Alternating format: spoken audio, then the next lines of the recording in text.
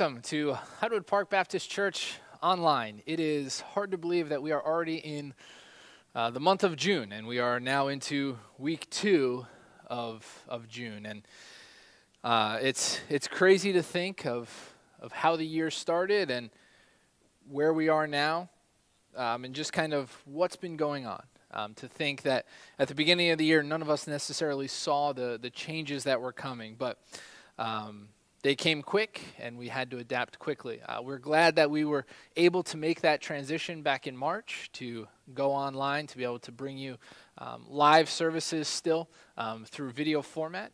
Um, but we do, we do miss the in person gathering. Uh, I so, so miss being able to see all of your faces. Uh, we've talked about this on prayer meeting and I've talked with others. Uh, I know that you can see me. And I know at prayer meeting I get to see some of our folks, um, but it's different not being able to see you. It's much different, and I know a lot of pastors around the country have had to adapt to this this new idea of preaching to a camera, believing that there are people on the other side who are listening. So I know you're there, and I know you're listening.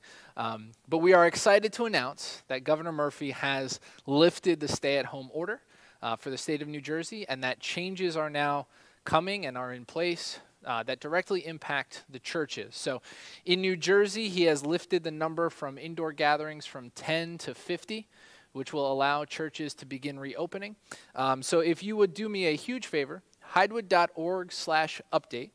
We've put out a video on there that kind of me- talks about what that means for us here at Hydewood, um, what that's going to do for us, what our timeline is for coming back into the building, um, and then continue to watch that page over the coming two weeks as we're going to be continuing to put out uh, a lot of information about how we're coming back together, what it's going to look like, some of the differences. Because though we're coming back, please understand that safety is the most important thing on our minds. Uh, we are excited to be able to fellowship together, to see each other, but it's going to look different, at least for for phase one. So our initial comeback will be will be different because there still are some guidelines with face masks and social distancing that we have to adhere to. So check that video out. It's hydewood.org/update, and then be watching that page over the next two weeks as we continue to to push out information. Um, we are excited though that uh, we've talked about it. We've been looking forward to it, and that day is is finally approaching when we're going to be able to come back together. So uh, we are grateful. We thank God that He's brought us through this far. And uh, we thank God that we know that He's going to continue to bring us through as we continue to slowly transition back to uh, a new normal because things will be different. So take a look at that and then be following that as well as our Facebook page. And you can find links for, for that stuff here on our Hydewood Live site. So if you're joining us on YouTube, we encourage you check out our, our website because there's a lot more information like we're talking about that's on the website. Um, and it's, it's a great place for you to plug in. Also check out our Facebook page because that's where a lot of our community is. So uh, with that being said, we are excited that we are coming to the end of our series. We've been working through a series for the last nine weeks. So this is part nine, if you will. And a lot of times the danger of long series is is that you can lose people along the way, right? People see the, the sermon title and they go, oh, Pastor's gone another week on this. When is he going to be done with this series? When are we going to move on? Well, this morning we are coming to the end. So if you've been getting tired of our Lemon series, uh, this morning you can celebrate that we are coming to the end. But we're closing with a very specific individual as we have over the last few weeks, we've looked at a few different individuals and, and some of their struggles. With the opening five weeks, we looked at five different steps to take when life gives you lemons. And then we kind of started putting it all into application. But before we jump in and before we wrap up this morning, let's have a word of prayer, shall we? Father, we thank you that we can come together. Lord, we thank you that we were able to make the change back in March to uh, going online, to being able to live stream to being able to continue to bring your word and your message out uh, to anyone, anywhere who is listening. Lord, it, it gives an opportunity to reach those who maybe wouldn't be in our area or be able to come to our physical location. But Lord, because it's online, they can access it wherever they are. We're thankful that we can embrace technology in such a positive way. Lord, I thank you that other churches around the globe were, were so quick to do the same thing, that they saw the importance of continuing to bring your message to the people out there, not only their members, but to others who may be looking for answers. Lord, I thank you that there are like minded pastors who are, are still willing to adapt and overcome to bring your message week in and week out. That we wouldn't just let this be an excuse. For as big of a transition as this was, and as uh, big of an impact as COVID has had on all of our lives and continues to have, Lord, we know we're not out of the woods yet by any means. But we thank you that there were men and there were helpers in place to continue to bring your word week in and week out. Lord, we thank you that now we get to start to transition coming back together. Lord, we thank you that we are in a place where it's a possibility for us to once again gather in person and to, to worship you. So we celebrate and we look forward to that day. We look forward to um, the next two weeks to, to pass by quickly as we prepare to, to come back together in person. But Lord, above all else, I pray that it would be done in a safe manner that we would remember that there still is a global pandemic at hand, that as much as we want to be able to come back and return to normal, that for a time things will be a little different.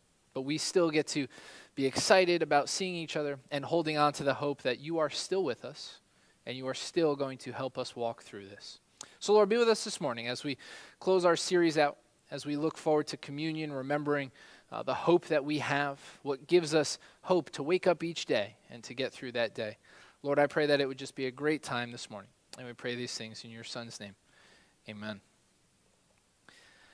This morning we're going to be taking a look in Second Corinthians. So if you have your Bible, go ahead and flip there. If you're um, not having, if you don't have a Bible handy, you can go ahead and click that link on our live stream page. It'll take you right to Second Corinthians chapter 12. And we're going to be looking at the life of Paul. Well, we're going to look at just a, a, brief moment of Paul's life. Because if you know about the New Testament, you know that Paul has written a large portion of the New Testament. Uh, he's done a tremendous amount and had such a great impact.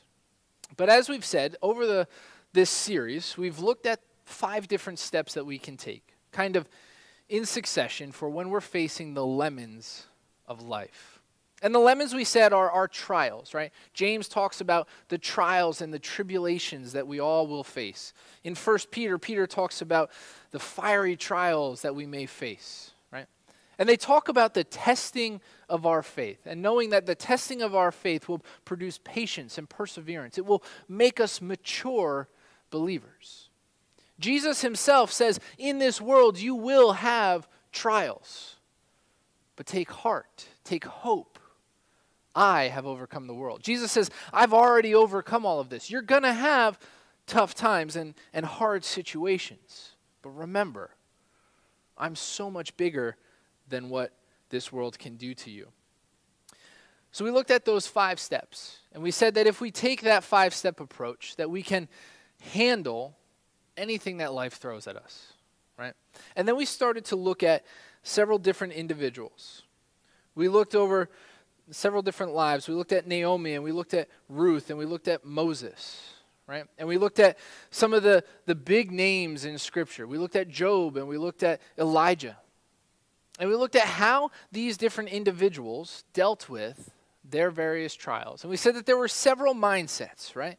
There are several mindsets that came when approaching trials. There was the mindset that Joseph and that Ruth had, right? Joseph and Ruth were in different situations, but both of them came with a very positive mindset that they were going to continue to, to follow God and to, to embrace whatever came, that they wouldn't let it change them for the negative, that whatever lemon came into their life, they were going to take it in stride and continue to live how God called them to live or, or wanted them to live. And then you have someone like Naomi, right? And we said that instead of using the term negative Nancy, we should use the term a negative Naomi because Naomi literally came back to her friends as she dealt with her lemon. She loses her husband and then she loses both of her sons when she's in Moab. And as she comes back to her friends in Israel, she says, Call me Mara, which literally means bitterness. She came with such a negative mindset into that trial that, that she was almost giving up hope. She was resolved to just wallowing in self pity? And we looked at those two and we said, who would you rather be? Would you rather be Naomi or would you rather be Ruth or Joseph? Where no matter what happens, you're going to continue to live how God called you to live. And then we looked at Moses. We looked at Moses and we looked at Job and we looked at Elijah. And we said the three of them, they all reached a breaking point. With their trials, they got to a point where things had become so overwhelming that they said that it would just be better off if they were dead.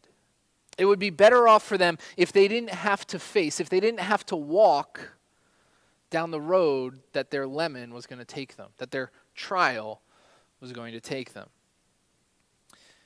And we've said that as we face trials, we have to choose what mindset we're going to fall into. That the choice is on us how we react to life's situations. We all react differently. No one can choose the reaction for you. You yourself are responsible for what you do when life gives you lemons. This morning we're going to look at Paul. So 2 Corinthians chapter 12 is the passage that we're going to look at, specifically verses 6 through 10, but we'll start back in verse 1. But here's a little backstory. Paul, as we come into verse 1, is wrapping up kind of his defense. Paul was a great man with a great ministry. Now, he didn't start out that way. If you know about the life of Paul, you know that Paul originally was known as one of the greatest persecutors of the Christian faith or of Christians in that time. Paul made it his mission to go around arresting believers, finding ways to bring them up on charges, bring them back to Rome, and put them on trial. But then Paul has a moment with God. He has that encounter, and God changes his life, right? A complete 180 degree turn. Where God now calls Paul and says, Paul, you are going to be one of the greatest missionaries now for my name. And so that's what he does. He embraces that life and he continues on, and he's known as the Apostle Paul, and he embraces the apostleship and, and what that means and what that entails. And it's a very particular word, especially for that time, and what it meant, the traits of being an apostle. So as we come to 2 Corinthians chapter 12, Paul is defending himself and his right to be called an apostle, for his right to justify his ministry, what he's done. And he's been on the defense specifically to those at Corinth for the accusations that they brought against him. And they accused him of boasting in himself and that he was full of pride and that his ministry was to puff himself up. So, as we come to verse 1, that's what's going on. Paul is wrapping up two chapters of defending himself and defending his ministry as being directly called by God. And as we come to verse 1, he's going to move from not only the physical things he's done, but now to the visions that God gave him directly to establish who he was. So 2 Corinthians chapter 12 starting in verse 1 and then we'll focus in on 6 to 10. It says doubtless it is not profitable for me to boast. So I will move on to visions and revelations of the Lord. I knew a man in Christ over 14 years ago. Whether in the body or out of the body, I cannot tell. God knows. Such a one was caught up to the third heaven. And I knew that such a man, whether in the body or out of the body, I cannot tell, God knows, was caught up into paradise and heard inexpressible words not permitted for a man to say. Of such a person I will boast, yet of myself I will not boast, except in my weakness. Verse 6 here. For if I desire to boast, I will not be a fool, for I will be speaking the truth. But now I resist, lest anyone should think of me above that which he sees me to be or hears from me. And lest I should be exalted above measure by the abundance of revelations, a thorn was given me in the flesh, a messenger of Satan to torment me, lest I be exalted above measure. I asked the Lord three times that this might depart from me. But he said to me, and really focus here on verse 9 My grace is sufficient for you, for my strength is made perfect in weakness. Therefore, most gladly I will boast in my weakness, that the power of Christ may rest upon me. So I take pleasure in weakness, in reproaches, in hardships, in persecutions, and in distress for Christ's sake. For when I am weak, then I am strong. Paul had every right to boast. Paul had every right to speak with authority. As he writes to the Corinthians, as he did in these letters, he has the authority to speak the way that he did. Because of who he was, what he had been through, the call God had placed on his life, and the purpose for which Paul was doing his ministry. When he was being compared to these other people who were boasting, Paul said, Look, I boast not in myself, but I boast in the things of God. You're listening to these Gentiles who are, are boasting about themselves and about things of this world, and you, you listen to them, you enable them, you continue to give them a platform to do these things. Yet I speak of the things of God, and you bring accusations and you accuse me, and you would come after me in my ministry. But as we get down into verse 6, he says, Look, here's the thing to remember God gave me a specific thorn in my side, or a lemon that came into Paul's life. He said, And this thorn was specifically to remind me not to boast in myself. But we have something that's very interesting that's going on here as we as we look at kind of what Paul's talking about, right? As Paul is kind of going through he says, Look, I'm not going to boast in myself. I'm going to continue to boast in God. If we go back to chapter 11 for a minute, so 2 Corinthians chapter 11, verses 16 to 33 is kind of his big list of his defense, but verses 23 to 29 specifically, Paul says he has that right to boast in the Lord. Right? Look at the sufferings that Paul has been through. This is kind of his resume and why he says he has the authority to speak the way that he speaks. 2 Corinthians chapter 11, go down to verse 23. He's talking again about the, the individuals that they were giving um, time to, to, to speak and to boast. And he says this in 22 Are they Hebrews? So am I. Are they Israelites? So am I. Are they the seed of Abraham? So am I. Are they servants of Christ? I speak as a fool. I am more, and here's his list in relation to his authority. I am more in labors, more abundant, in stripes above measure, in prisons more frequently, in deaths often. Five times I received from the Jews 40 lashes minus one. Three times I was beaten with rods. Once I was stoned. Three times I suffered shipwreck. A night and a day I have been in the deep, where he was left in the sea. In journeys often, in perils of waters, in perils of robbers, in perils by my own countrymen, in perils by the Gentiles, in perils in the city, in perils in the wilderness, in perils in the sea, in perils among false brothers, in weariness and painfulness, in sleeplessness often, in hunger and thirst, in fastings often, and in cold and nakedness. And he says, besides all of this, right? That's all of the physical things. But verse 28, besides the external things, the care of all the churches pressures me daily. Who is weak and I am not weak? Who is led into sin and I am not distressed? Verses 24 through 27, he lists all of the physical sufferings that he's gone through for living the calling that God placed on his life. He says, Look at all of this. If you want to talk about who has the right to talk, Look at my resume in comparison to everybody else. Look at my sufferings. Look at my struggles. And he said, besides all of the physical, I have the added stress of the pressures of daily caring for all of the churches. There's an interesting thing about churches and about ministry that um, you don't necessarily always understand until you're suddenly put into that position. But there's a different pressure that comes into one's life when they enter into any type of ministry. Working in the church and working in a ministry, be it a Sunday school teacher, being a part of a music team, being a part of the AV team, being a pastor. There's a pressure that's now added onto your life because you are caring for other believers. You're caring for the church. What you do and what you say and how you live is going to be scrutinized, it's going to be watched. And people are going to make judgments of the Christian church as a whole, of your specific church, and of you based on your actions, based on what you say, based on things that you do. And Paul is saying, look, besides all of the physical, I have the pressure of worrying about and caring for the spiritual well being of all of these churches. If anyone has a right to boast, it's Paul. But Paul says, Look, I don't. And to make sure that I don't, I've been given a specific thorn in my flesh. Back to 2 Corinthians chapter 12. As he gets in here, he says, I've been given this thorn, right? Verse 7.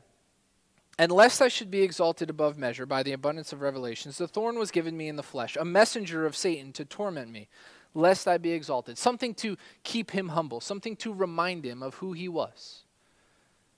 That it was not him, but it was God working through him in ministry. But we have something very interesting in the, the coming verses. Paul says, I asked the Lord three times. On three different occasions, I asked that this would depart from me, that God would take this from my life. We're never told when this is finally lifted. We're not even told what this burden was that Paul had. There's a lot of speculation, whether it be a physical ailment that Paul had, or whether it be a spiritual battle, whether it be someone that he had to deal with on a regular basis, judgment. But we know that it was enough that Paul asked on three different occasions for God to remove this from his life, to get rid of it, so that Paul could continue focusing on what he was doing without this distraction to constantly battle with. But God's response is a response that we all need to remember whenever we face any trial in our life. As Paul's dealing with this, and Paul asks God to remove this thorn, God has that conversation back. In verse 9, we get to see God's answer specifically regarding this situation. God says this He says, My grace is sufficient for you, for my strength, God's strength, is made perfect in weakness. Right? God says, My grace is enough, and my power thrives in weakness. Think about the last major trial that you faced before COVID 19 happened, before January and February happened. Think about the situations that you've found yourself in throughout your life. As you reflect upon the different lemons that you've faced, have you tried to get through them on your own strength? Or have you tried to get through them with the strength of God? There's an interesting thing about coming to the end of ourselves. It's a phrase that gets used often in the Christian world, right? When we come to the end of ourselves is when we come to the beginning of God. And there's a whole theological debate that you could have about that phrase and how you should use it.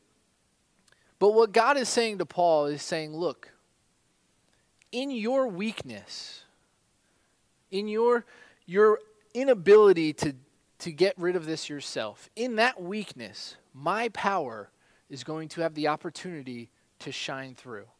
My grace is sufficient for you. My grace is enough to get you through anything that you're going to face. And in that weakness, my power is made perfect. God says, in our pain and in our struggles, in our trials, in our lemons of life, God's power has the ability to shine through.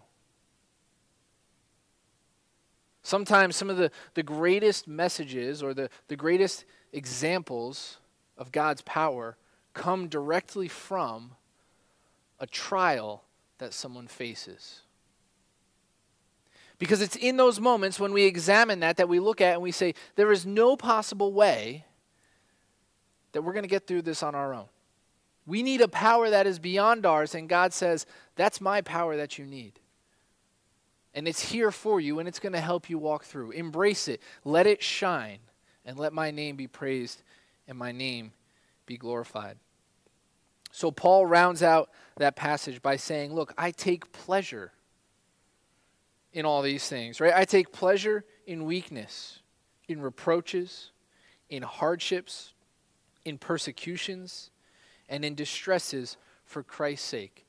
Paul says, if I'm going to suffer for the name of Christ, if I'm going to be in a position where because of what I'm doing, because of how I'm living for God, then something negative comes into my life, then I'm going to rejoice in that. I'm going to embrace that because God is going to be glorified through that.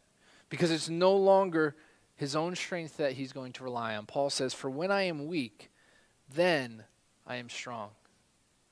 When we get beyond our own power, when we get beyond our own limitations, that's when we can embrace true strength, and that strength is from God.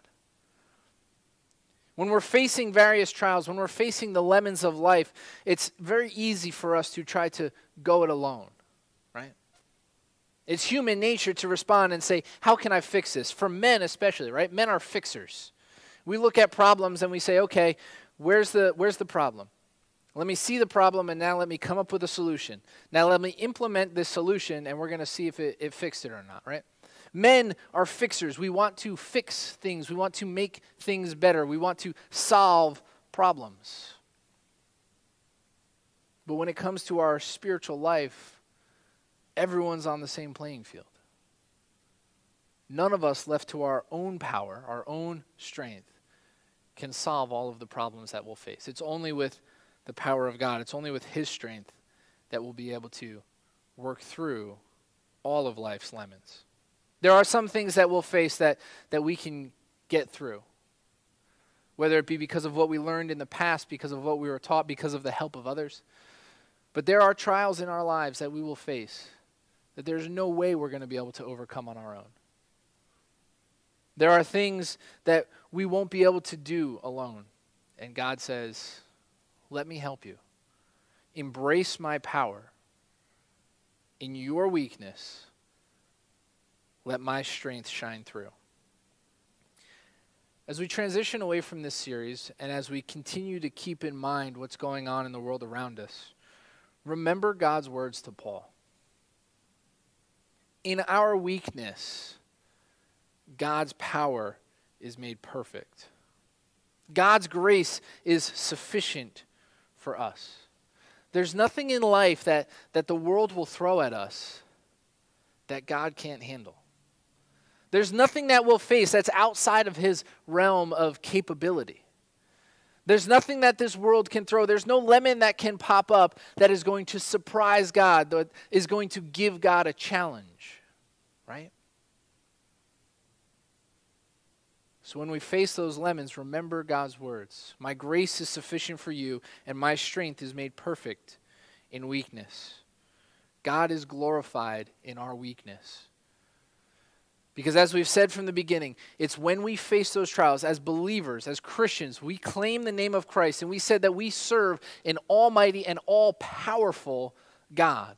So if we serve an all powerful God and then we go through the lemons of life, and we try to do things on our own and we fail, people are going to question that. But if we try to go things or go through things with God, no matter how hard that struggle is, no matter how awful that situation seems in the moment, two things will happen when we get to the end. We will get to look back and rejoice and say, Look at what God has brought me through.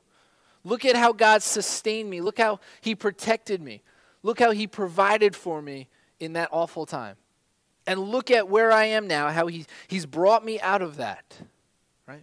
And then the world is going to look at that same situation and they're going to look at what you went through. They're going to look at how you were sustained. They were going to look at how bad the situation was. And they're going to say, How did you deal with that? And in that moment, that's your opportunity to say, It wasn't me. It was only through the power of Christ that I was able to get through that time in my life. And that will then open a, an opportunity or open a door for you to be able to share who God is with those people. It's an opportunity for us to share the love of God with others. In life, there's different trials. There's trials that we'll face because of the world that we live in. We live in sin nature. Right now, we're all facing COVID 19. COVID 19 is a direct result of a fallen world, an imperfect world. It is a consequence of sin. Not specifically that disease, but disease in general, right? Sickness and death is a result of sin. It's a result of the disobedience of Adam and Eve going all the way back to the Garden of Eden. Right? We're going to face trials like that. We're going to face tough times, persecution, as people ridicule us for believing in God. We're going to face trials of various nature. But in all of them, remember God's words My grace is sufficient for you. In weakness, my power is made perfect. The power of God will be able to shine through.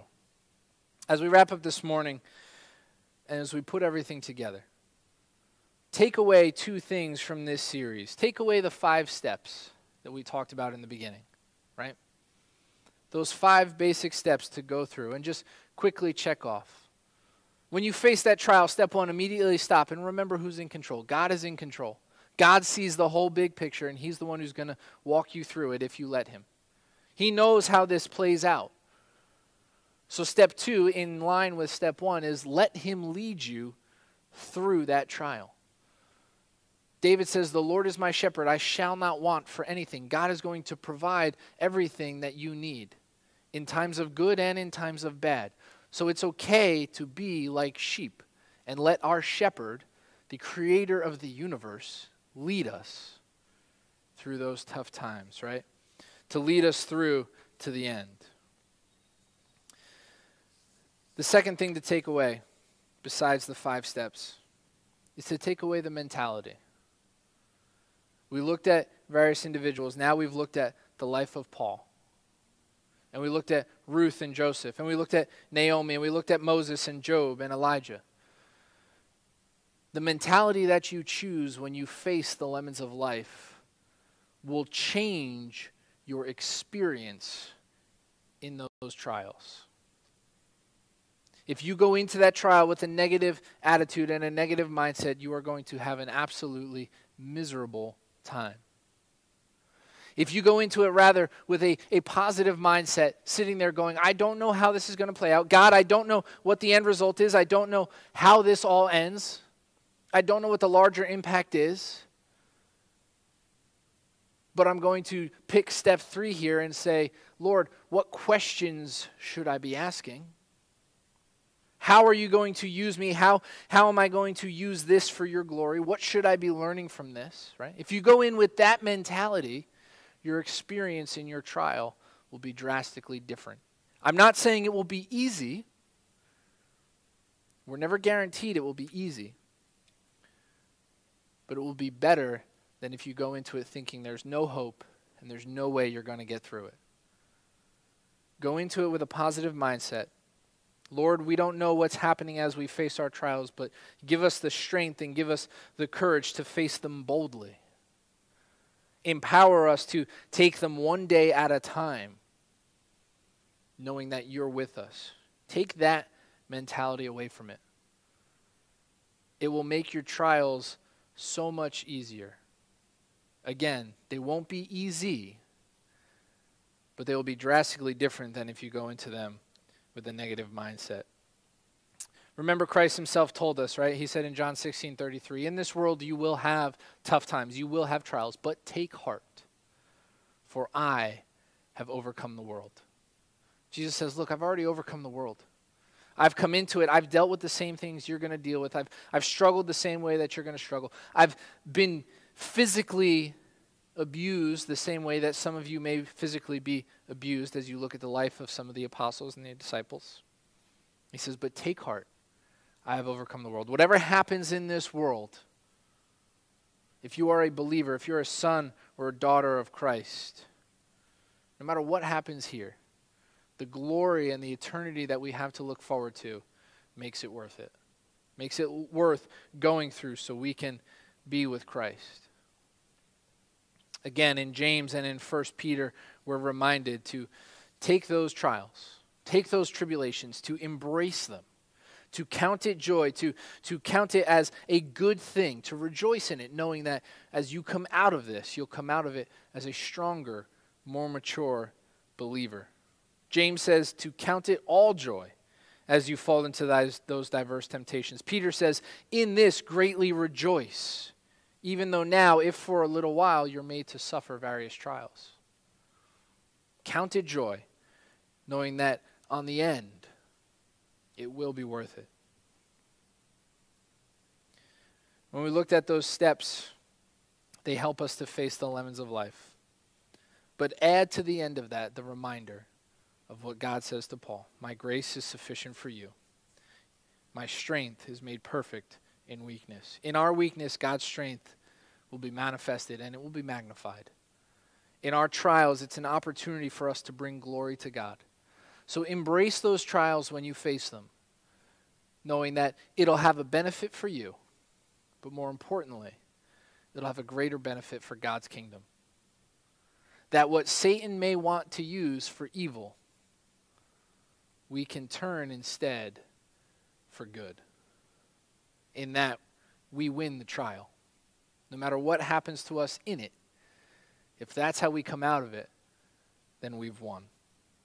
That's what it's all about. Our trials are, are there to help mold us and to shape us into the mature believers that God wants us to be. They equip us and enable us to continue to do ministry, to reach out to the world, to embrace others who are having the same issues. And they allow the power of God to shine through. The next time you find life throwing lemons at you, remember the opportunity that lies before you. Remember the opportunity that that lemon presents. You can take it in one of two ways the negative or the positive.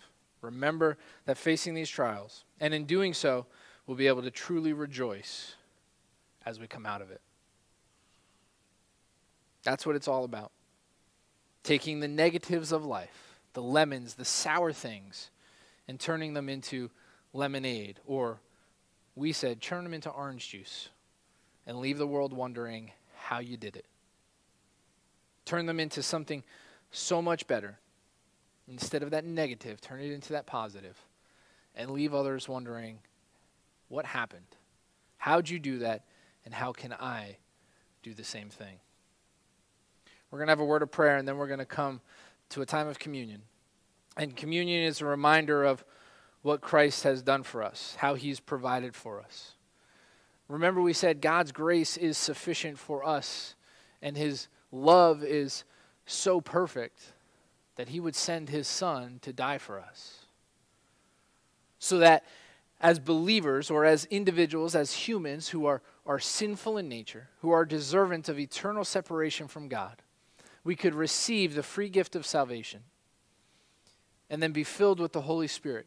And then as we go through life and as we face the different challenges or the different lemons that the world can offer us or throw at us, we can now face those knowing that the individual in control of our life is the creator of the universe, the Almighty God who loves us and cares about us and has a plan and is with us through those moments. So, as we come to communion here in a moment, see how all of it ties in.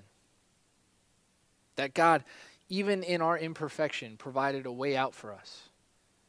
And as believers, He will continue to provide ways out and He will continue to provide for us through our tough times. So let's have a moment of prayer as we come to communion. Lord, as we come to the communion time and as we remember what it is that you've done for us, Lord, we are thankful for the lemons of life. Lord, we thank you that we can look back at Scripture and we can look at individuals and we can learn how we should act and how we shouldn't, what we should be doing, what our responses should be.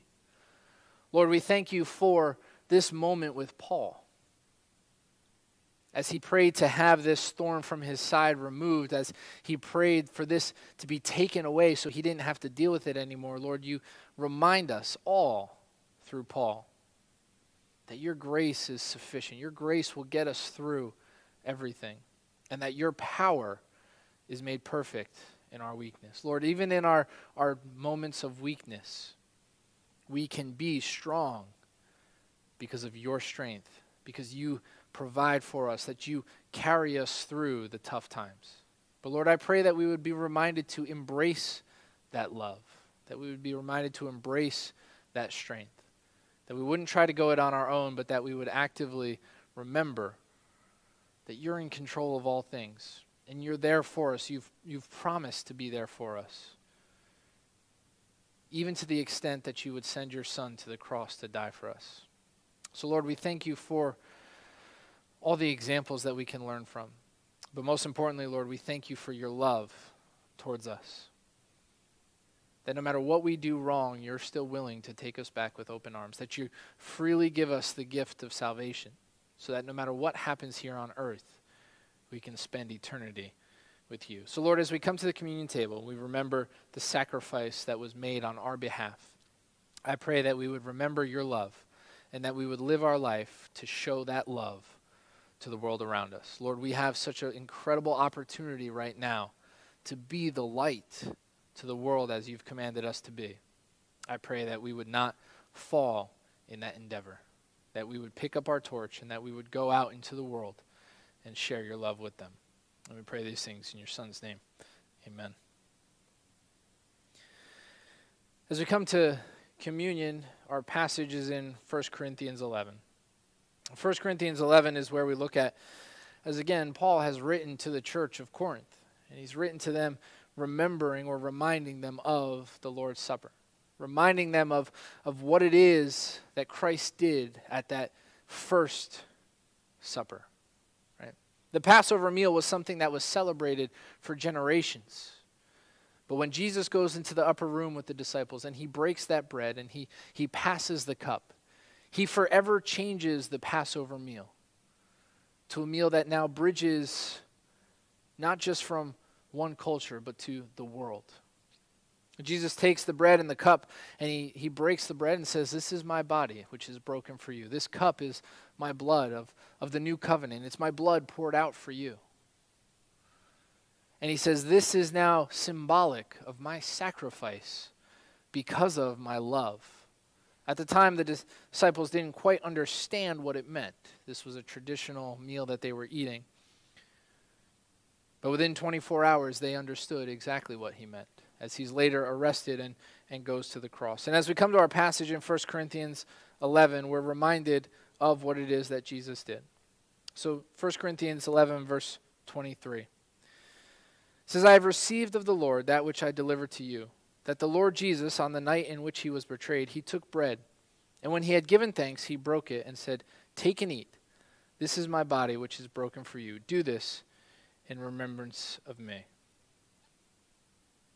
This bread is symbolic of, of the body that was broken.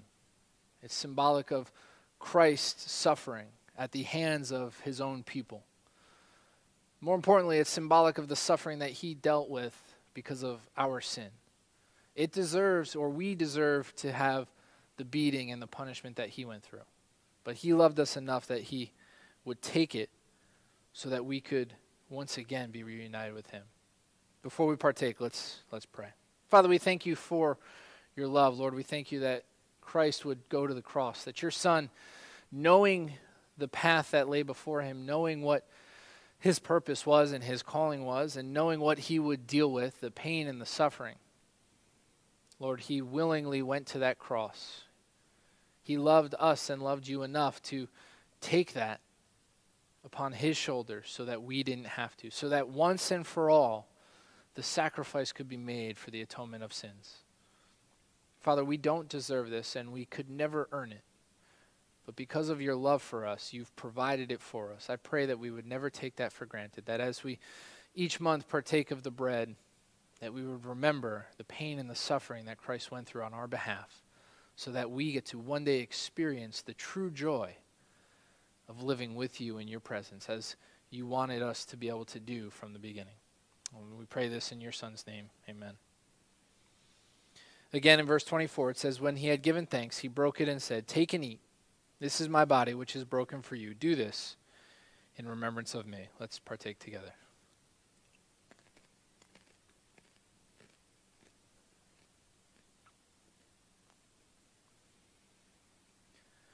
Each month, as we come to the cup, the cup is again symbolic of Christ's pain and Christ's suffering, of the blood that he shed on our behalf, the crown of thorns that was pressed into his skull. It's not small thorns. If you've ever been pricked by a rose bush, it doesn't feel great. But the thorns that were pushed into Christ's head were most likely an inch or more long. It was designed to cause pain and to cause suffering to shed blood. And then again with the beatings as his back was ripped open and his blood poured out on our behalf. That's what this cup represents. the physical abuse that Christ took. And then finally, as the nails pierced his hands and his feet, and he goes to the cross. All of that pain and all of that suffering that we deserve to deal with, Christ dealt with. And again, that's what's represented here. Let's pray. Father, we thank you again that Jesus knew what was in store. He knew the physical pain that was coming, but he didn't shy away. Lord, we know that he, he came to you and he said, if there was any other way to let this cup pass from him, to let it happen. But if this was the only way to provide a, a, a sacrifice for all mankind once and for all, to cover sin,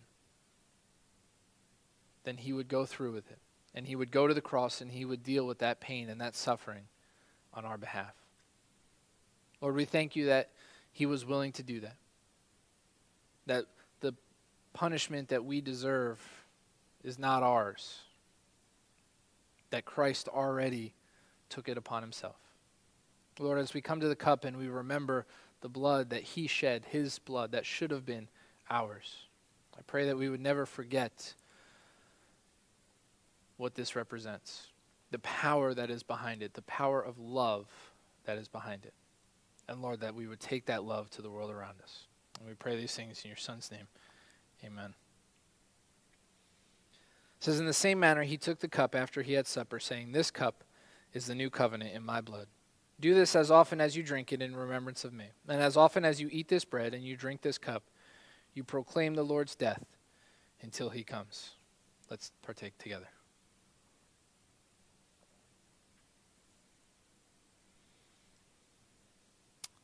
Verse 26 As often as you eat this bread and you drink this cup, you proclaim the Lord's death.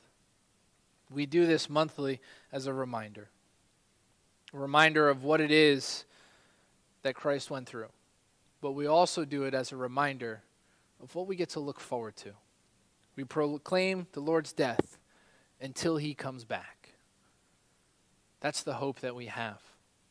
That's what gives us joy in our life, knowing that Christ is coming back. And when Christ returns, be it in our lifetime or in the time after, that we will get to be reunited with him. That we will get to go on and we will finally get to live in eternity. And then at that point, the lemons of this world no longer exist. But until that day comes, continue to embrace life's lemons. Continue to remember the sacrifice that was made for you. And continue to remember the power that continues to be with us every day as we go through life. And that's the power of God and His love for us. Let's pray. Father, we thank you for communion. We thank you that we get to proclaim your death until you come back. Lord, we look forward to that second coming. Lord, we look forward to the time when we get to be called away from this world and we get called into your presence. And then we get to spend eternity, something that for the human brain is just uh, so hard to comprehend. The idea that there will be no end to the joy that we will get to experience living with you, that we will be given new bodies and new life, and we will spend that time with you. Father, I pray that we would live that out. That it wouldn't be just a once a month thing as we take communion, but Lord, that we would live each day with that on our mind. That as we face the lemons of life, as we face the tough times, as we face the changes in society, in the world around us, as, as we go through all of this, Lord, I pray that we would hold on to that hope of our future. Lord, that we would hold on to your love and we would hold on to your power. And that we would then be the light to the world and say, look, no matter what happens in this life, there's so much greater beyond. There's so much greater in store for us if we know Christ as our personal Lord and Savior. So, Lord, we are grateful for what Christ did on the cross for us. We know that we would never be able to earn our way to heaven. We could never do anything to justify ourselves to get there. But you loved us so much that you would send your one and only Son to deal with the pain and the punishment that we deserve so that we could spend eternity with you, that we can accept that free gift of salvation knowing that our future is secure. So, Father, we thank you that we have this promise. And I pray that we would show that to the world around us. And we pray these things in your Son's name. Amen. As a brief reminder, hydewood.org slash update is our, our page for all of our updates. We are excited about what's happening right now in the state of New Jersey as far as some of the restrictions that are being lifted. We would ask this continue to be in prayer. Continue to pray for wise decisions to be made. Continue to pray for not just our state, but for our world as a whole. That as we continue to navigate this global pandemic and as countries start to lift restrictions, that people would continue to use, uh, I want to say common sense, but common sense is not too common anymore. Continue to use wisdom, right? Pray for wisdom, that people would make wise choices because the only way that we get through this is together making wise choices. We're excited to say that we will be back together soon. June 28th is our, our first day back together. Again, check out the video and the information on hydewood.org slash update. And uh, we are excited that we will very soon be back together face to face. And we'll be able to do this together again, worshiping as a family. Because we are all brothers and sisters in Christ. Right now we're separated but soon we will be back together. Let's have one final word of prayer before we leave. Father God, we thank you that we are coming closer to that point. Lord, that we see that light at the end of the tunnel. We've talked about it for about a month now, and we're finally getting to see it. Lord, we looked forward to it, and now it is, it is quickly arriving. But as we get ready to regather, as we get ready to reopen the doors of the church and to come back together in person, Lord, I pray that we would do it with wisdom. Lord, that we would make wise choices for the safety and the benefit of all. That we would take the health into consideration of not just ourselves, but of those around us. Lord, that we would remember that brotherly love and remember it's not always just about us, but that we should be looking out for those around us, that we should be caring for others, and we should be making decisions accordingly. So, Lord, as we get ready to get back together, as we get ready to uh, come back in one building. I pray that we would do it carefully and that we would do it uh, in a way that is um, just provides the best opportunity for us to safely gather and not worry about what's going on, but to be uh, here focusing on why it is that we gather. And that's to bring honor and glory and praise to your name. So, Lord, be with us this week. Give us the strength that we need, your strength, so that even in our weakness, we can be strong as we face the lemons of life. We know that you provide that for us. I pray that we would be reminded to lean on you for it. And we pray these things in your Son's name. Amen.